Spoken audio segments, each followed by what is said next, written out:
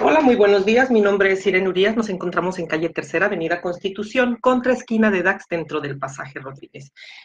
El día de hoy vamos a hablar un tema muy común, un mito se puede decir, porque la gente ya no sabe cómo hacerlo y es una pregunta muy, muy frecuente de cómo vamos a hacer los procedimientos químicos en nuestro cabello, si con el cabello limpio o sucio, seco o húmedo. El día de hoy, yo hace un rato que les di una clasecita, me estoy apurando porque ya me voy de vacaciones, me quedan cinco días nada más. Estábamos hablando de que me van a hacer un proceso químico a mí el día de hoy y que se los voy a transmitir para que aprendan a hacerlo.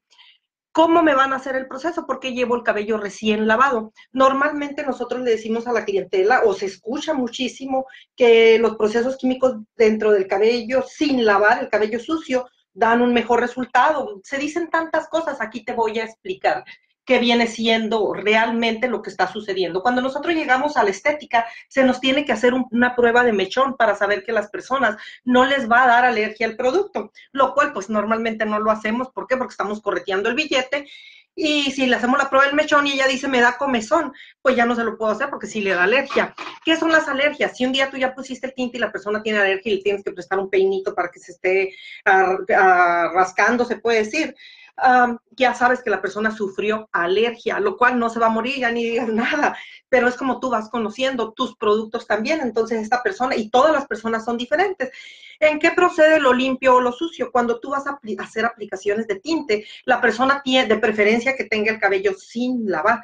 ¿Por qué? Porque nuestro cuerpo, nuestro mismo organismo va creando aceititos, va creando protectores naturales en mi cabello, esa suciedad que se encuentra tanto en la piel, que la vamos haciendo de un día para otro, ya en un ratito ya tenemos esa suciedad, también en el cabello, esas grasitas naturales que vamos haciendo me protegen mi cabello de los procesos químicos. Es correcto. Pero ahora, en el caso mío, que yo voy a una decoloración, es totalmente lo contrario en la decoloración. Tienes que llevar el cabello totalmente limpio, porque nosotros cuando llega el cliente separamos, ponemos el decolorante. En algunas ocasiones nos damos cuenta que el decolorante se nos hace agua o se nos pone de un color raro, verde o violeta. ¿Por qué sucede eso? Porque nosotros traemos productos que chocan contra los decolorantes. En el caso de la decoloración es más complicado, es más celoso el decolorante, no lo puedes mezclar, mezclar con productos, por eso no debes, como la gente quiere agregar dentro del decolorante shampoo violeta, puede arreglar varias cosas. No es correcto porque se te va a hacer aguado, tiene que tener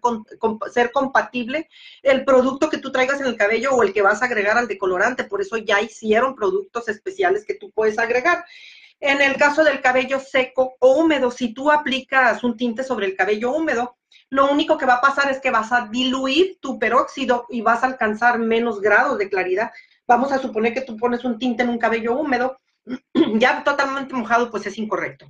Tanto los matices también. Tienes que tener mínimo húmedo. En un matiz es correcto, húmedo, de preferencia debería estar seco, pero húmedo ya le das más oportunidad que entre a la, a la, esponjita que tenemos dentro del cabello que se llama corteza, ya le das más oportunidad que entre, pero tiene que, si está muy mojado, pues no va a alcanzar a entrar. Lo mismo sucede en un tinte, si tú tienes el cabello húmedo y aplicas el tinte, ¿qué estás haciendo? El peróxido lo estás diluyendo, si tú estás aplicando un peróxido de 20 volúmenes, pues cuéntalo como uno de 10 volúmenes. Esa es la diferencia si tenemos que tener el cabello limpio o sucio. Recuerda, sucio te protege contra las agresiones de los químicos, pero también dependiendo los productos que tú te hayas puesto, puede tener un choque con el decolorante y vas a pasar más horas en la estética y van a estar asustados y te tienen que lavar y que te tienen que enjuagar, secar otra vez y volver a poner el producto. Por eso es mejor que lo hagas bien desde el principio. Mi salud, así nunca nadie me pregunta por eso. Qué bueno que me preguntaste porque estoy muy contenta yo creo que se me nota, ¿verdad? Que me he sentido bien.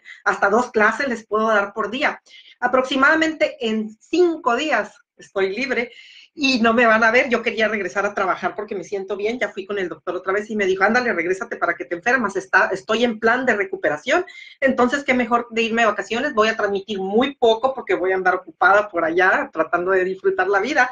Pero en estos días me siento súper bien nunca me habían escuchado eso y se me nota, yo creo, porque antes, antes de dar la clase se me salía, me siento mal, es algo contra lo que no podemos. Yo creo que las personas que somos estilistas no se sabe de qué vino, pues el mío de tanto trabajo, la verdad, de tanto exceso, exceso, me dio esta, esto que traigo descompuesto, estas revolturas que traigo, que se me va el rollo, que se me olvida, que luego no sé ni quién soy y que me siento muy mal, ¿qué importa que no sepa quién soy? Cuando te sientes mal, nada es importante. Ahora que me siento bien, estoy aprovechando para darles estos pequeños tips. Por ejemplo, en el caso parece muy sencillo hablar del cabello limpio o sucio, pero es un tema o una duda muy frecuente sobre todo de los principiantes en la Buen día, niñas. En un ratito más que me hagan el procedimiento químico con el maestro Edgar Luna. Edgar Luna son, son, ¿cómo les puedo decir? Patrocinadores de mi imagen. Entonces, voy a tratar de publicarles lo más posible para que ustedes aprendan. Yo nunca les pude transmitir mis trabajos en vivo, que tuve muchísimos. Sí, es lo que voy a hacer, transmitirles el video en vivo yo antes no podía porque los últimos cinco años estuve enferma, no sabía, hace un año me estoy tratando y finalmente me estoy comenzando a sentir bien, mi medicamento se termina el día de mañana. Buen día, niñas, y aquí estamos para servirles en un ratito, esperen el video.